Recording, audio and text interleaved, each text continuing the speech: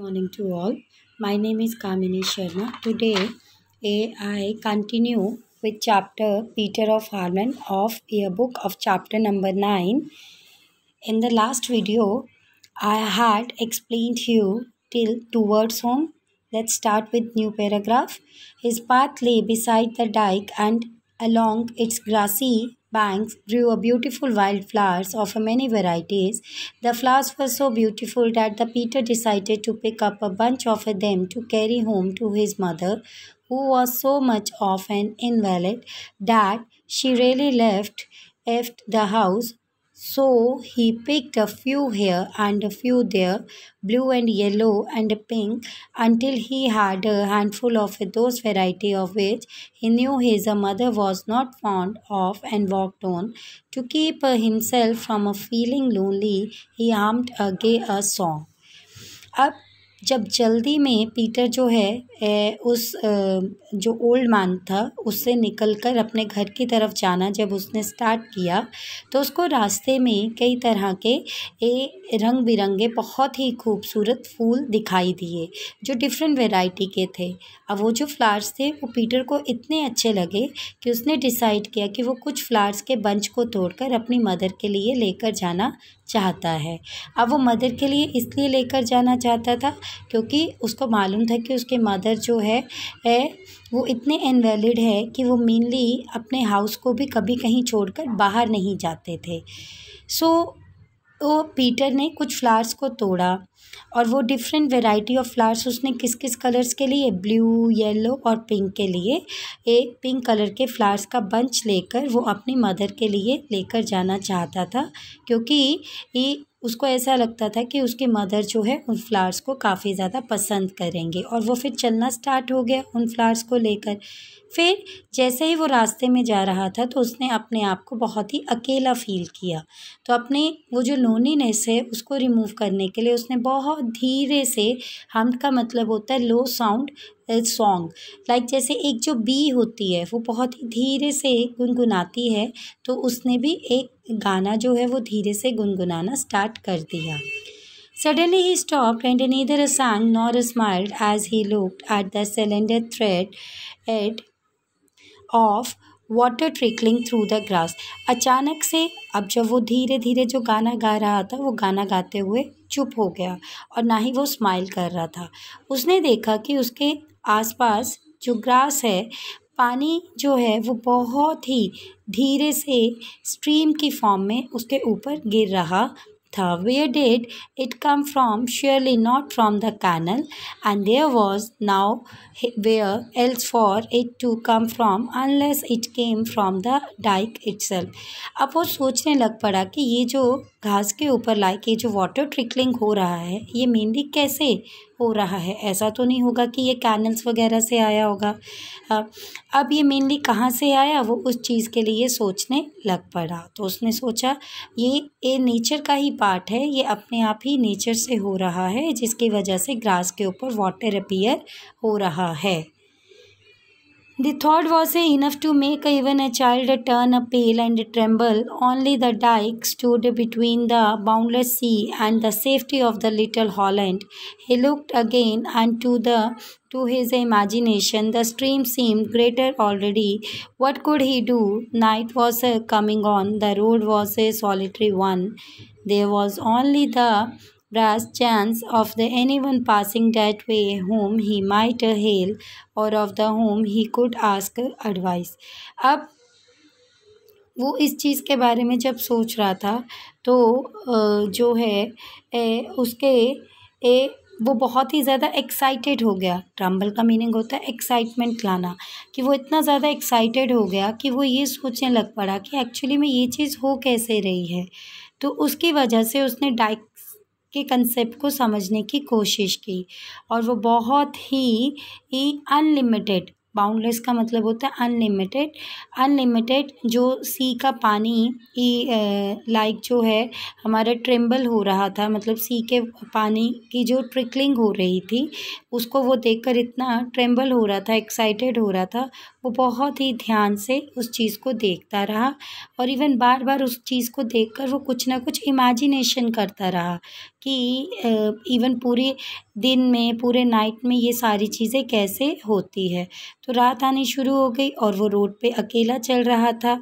तो जिसकी वजह से ए जो है ए उसको एक किस्म से ये भी एडवाइस हो रही थी कि उसको अभी इतनी रात में अकेला नहीं कहीं जाना चाहिए। मे बी कोई उसको पकड़ भी सकता है और कुछ उसके साथ मिस हैपनिंग भी हो सकती है। So then came a quick recollection of his promise to his father फिर उसको अचानक से अपने फादर का प्रॉमिस किया हुआ भी याद आ जाता है कि मैंने अपने फादर से प्रॉमिस किया था कि मैं केक देकर बहुत ही जल्दी घर पर आ जाऊँगा। तो फिर वो चीज़ों को ग्राप्स करता है, ए, अपने माइंड में सारी चीज़ों को सोचता है, जिसकी वजह से, ए, वो याद करता है कि मुझे अब ये सब चीज़ें जो मैंने कर ली है केक मैंने प्रोवाइड कर दिया है इवन वो जो है trickling of stream of water को भी देख रहा है तो अभी उसको, ए, जहाँ पर भी वो है, वहाँ पर उसको ज़्यादा देर के लिए नहीं खड़ा होना चाहिए, अब उसको अपने घर की तरफ़ जाना चाहिए। So he was near one of the great oaken slices and bounding up beside it he carefully examined the dike. There as small as his finger was a hole and through that the little hole was safe flowing the stream of the water as his feet. Like lightning the flash of the intuition came to the Peter. If that hole were not plugged instantly the force of the flow through it would rapidly increase from the pounding of of that mighty sea behind it. In a night, the flood would break through the dike and the perhaps destroy all the homes in the Holland. अब जब वो उस चीज़ों के बारे में सोच रहा था तो जैसे ही ही वो जो है नियर जो है ए, एक नियर एक स्लाइडिंग गेट था उसके पास सोलाइसिस का मतलब होता है स्लाइडिंग गेट नियर एक बहुत बड़ा सा स्लाइडिंग गेट था जो कैनल या रिवर के साथ कनेक्टेड था. तो जैसे ही वो वहाँ पर गया तो उसने बहुत ही ध्यान से वहाँ से निकलने की कोशिश की। तो उसकी जो एक छोटी सी फिंगर थी, उसने देखा कि वहाँ पर एक छोटा सा होल है और वो होल से जो वाटर है, वो फ्लो हो रहा है। वो जो स्लाइडिंग गेट्स है उससे वो जो होल से वाटर से है, वो पानी जो है, वो फ्लो कर रहा है। तो इवन लाइटनिंग जैसे ही उस पर पड़ी तो उसको इंट्यूशन हुई मतलब उसके मन में आया कि ये जो होल जो है, अगर मैं इसको प्लग नहीं करूँगा तो अचानक से जब पानी का बहाव पीछे से बहुत तेज़ी से आएगा तो एक किस्म से वो फ्लड में भी चेंज हो सकता है उस नाइट में और वो पूरे डाइक को इवन हॉलैंड को जो है एग्जैक्टली exactly पूरी तरह से डिस्ट्रॉय कर सकता है, डैमेज कर सकता है। So what could he do अब उसने क्या किया? ये सारी चीज़ों को जब वो सोच रहे तो उसके माइंड में तो बहुत सारी बातें चल रही थी। तो what could he do no stone would fit at the hole no amount of the earth packed in the crevice could resist the pressure of the water अब उसने मेनली क्या काम किया कि जैसे ये जो रॉक है क्रिविक्स का मीनिंग होता है कि लाइक जैसे ये रॉक है, उसके बीच में एक नैरो वो डिस्टेंस आ रहा है नैरो ओपनिंग वॉल आ रही है और बीच में जो उसका स्टोन था, जो होल था, उसमें उसने स्टोन लगाने की कोशिश की। अब उसने ये चीज़ इसलिए की ताकि जो है जो फ्लड है, वो ज़्यादा ना आ जाए, पानी का बहाव ज़्यादा ना आ जाए, जिसकी वजह से हॉलैंड जो है, वो पूरी तरह से डैमेज भी हो सकता है। तो इस काम के दौरान वो जो पीटर था उसने मेनली क्या किया जो बंच ऑफ़ फ्लावर्स वो अपने मदर के लिए लेकर जा रहा था वो वहीं पर भूल गया। और फिर उसकी वो अकेला ही सड़क पर निकल गया और जैसे ही वो अकेला सड़क पर निकला तो उसको जो है ए, एक साउंड रफ साउंड सुनाई दी ई कि व्हाट कुड ही डू कि उसने क्या किया ये एक्चुअली में? And and idea struck him वो बातें बार बार उसके दिमाग में ए स्ट्राइक कर रही थी कि वो एक्चुअली में कर कर क्या आया है। So climbing Again up the steep bank, from the stone to stone, he thrust his finger in the hole and it fitted. It stopped the trickling water for the moment, but oh, what would happen when he took it out? अब वो यही चीज़ सोच रहा था जैसे जैसे वो climbing मतलब उसके ऊपर चढ़ रहा था तो उसके माइंड में ये आ रहा था कि उसने क्या किया उसको एक किस्म से बहुत अच्छा भी लग रहा था कि जहाँ से पानी का बहाव निकल रहा था वहाँ पर उसने स्टोन को लगा दिया अपने फिंगर्स जहाँ से वो पानी निकल रहा था, वहाँ पर उसने स्टोन को लगा दिया, जिसकी वजह से जो वाटर ट्रिकलिंग हो रहा था, वो बंद हो गया।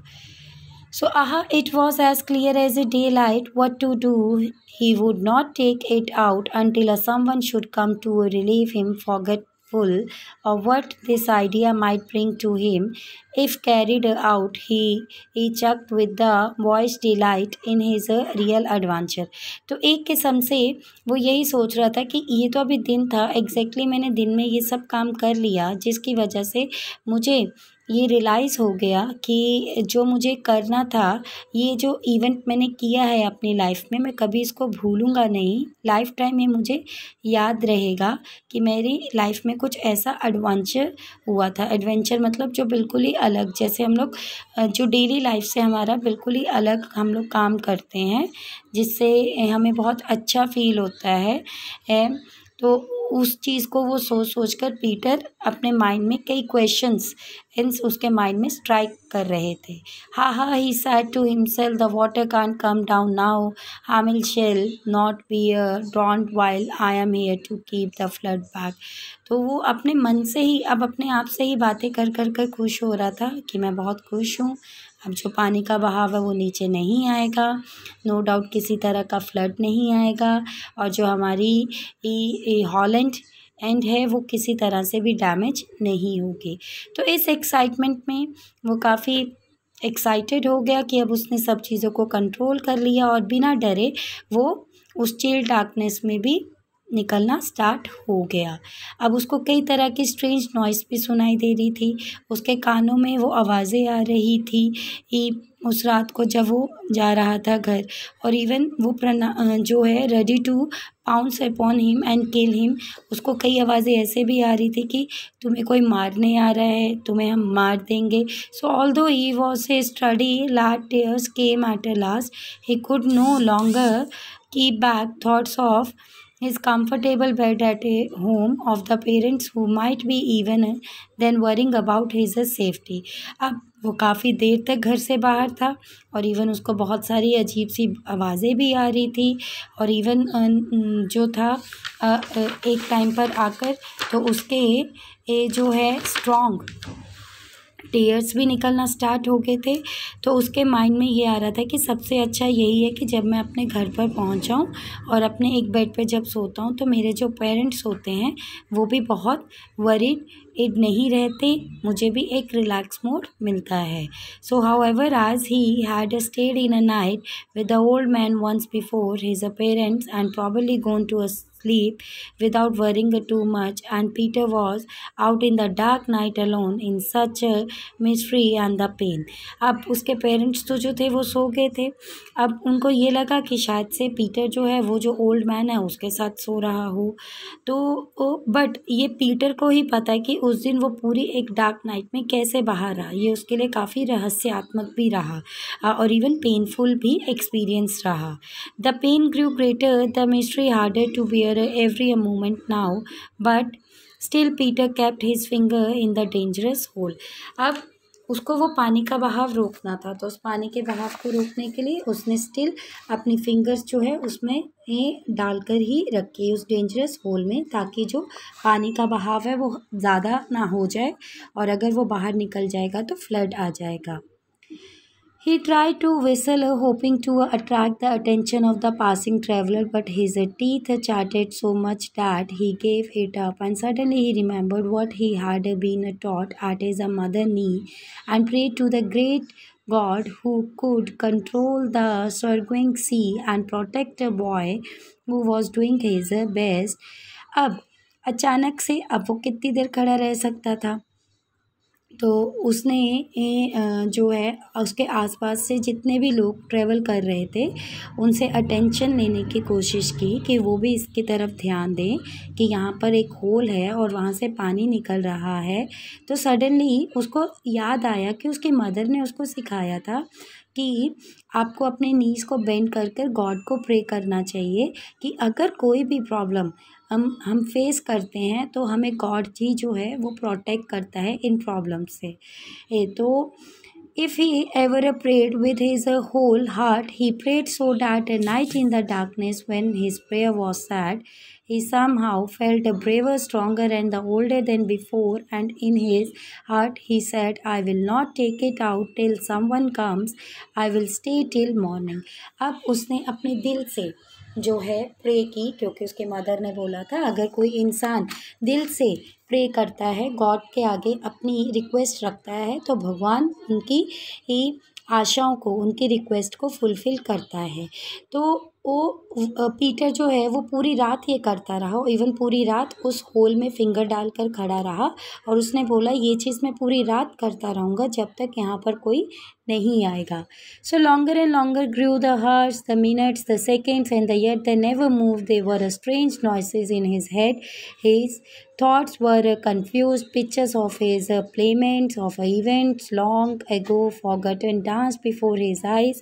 He was not sure, or he could draw his finger out of the hole even if he wished to do so. It felt so strangely enough. Uh, why did it feel like knives were cutting and pins pricking him from the head of the foot? What would happen if no one ever found him? No one ever came to help him. अब उसने ये ठान लिया था। उसको समय के, वो समय की तरफ़ देख ही नहीं रहा था कि दिन हो रहा है, रात हो रही है, घंटों घंटों के घंटे निकलते जा रहे हैं। इवन जो है कई जो थे स्ट्रेंजर्स जो थे, वहाँ से अगर जा भी रहे थे तो उसको ऐसा कुछ उसकी नॉइज़ जो अपने दिमाग में भी अगर सुनाई देती थी, उसको महसूस भी होती थी तो वो कंफ्यूज भी होता था कि मैं कितनी देर तक यहाँ पर खड़ा रहूँगा।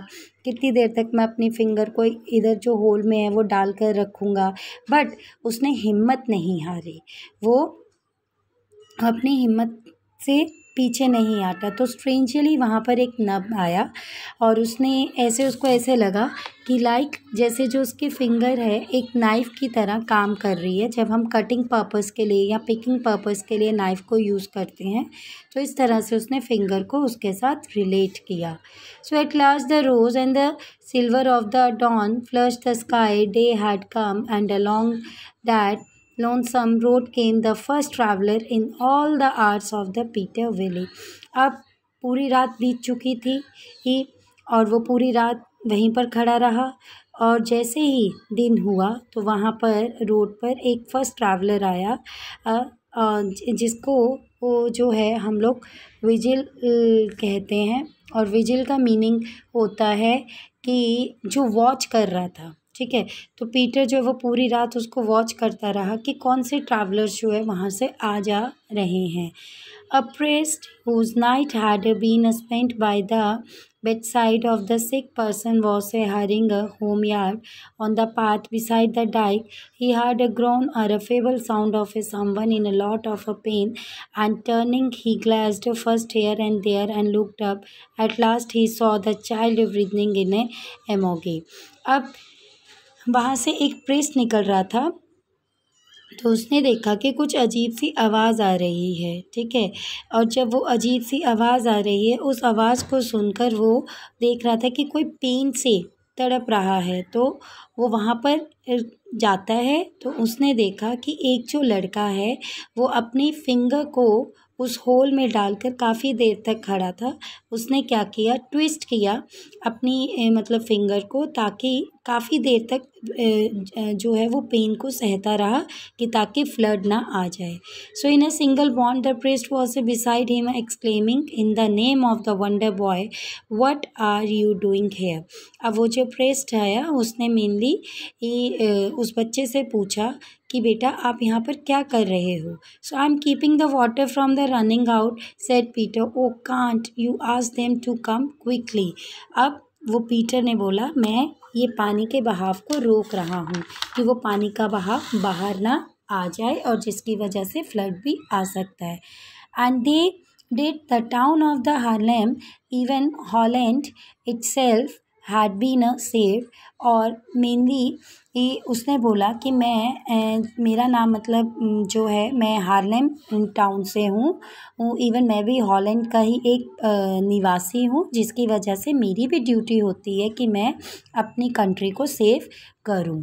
तो उस बच्चे ने अपने आप को, अपनी वो ड्यूटी बताई कि, it's my duty that I have to take care of my country. So from that day to this, there has not been a single child in a Holland who has not heard the stirring story of the Peter whose name will never be a forgotten तब से Peter की ये story Holland का कोई एक single ऐसा बच्चा नहीं था, जिसने पीटर से रिलेटेड स्टोरी पीटर की ये जो स्टोरी है, वो नहीं सुनी होगी। ये कि पीटर ने अपने हॉलैंड कंट्री को बचाने के लिए कितने एफर्ट्स किए थे। वो पूरी रात उस उस जो माउंटेन के बीच में से जो रिवर के पात आ रहे थे, वहाँ पर जो होल था, वो एंटायर नाइट उस होल में अपने फिंगर को डालकर बैठा था। So the writer of the lesson is cat डिंगसन स्विस्टर I hope so chapter is clear to all please read the chapter and if you have any query send it on a WhatsApp group and from the story what you have learn we learned that we always ready to help others. हमें हमेशा दूसरों की मदद करनी चाहिए। We we tackle the situation हमें हमेशा मुसीबतों का सामना करना चाहिए।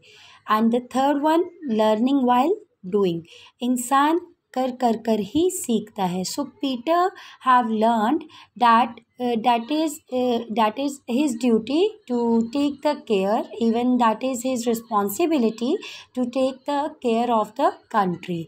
तो पीटर ने यही इस लेसन में बताया है कि जब भी हमें कोई एक काम करना होता है तो उस काम में हमारी ही रिस्पॉन्सिबिलिटी होती है कि हम उस काम को बहुत अच्छे से करें। चाहे वो कंट्री से रिलेटेड है, चाहे वो हम इंडिविजुअली हमसे रिलेटेड हो। So we always be there for helping others so that is the moral of the story he help to others thank you hope so it is clear to all have a nice day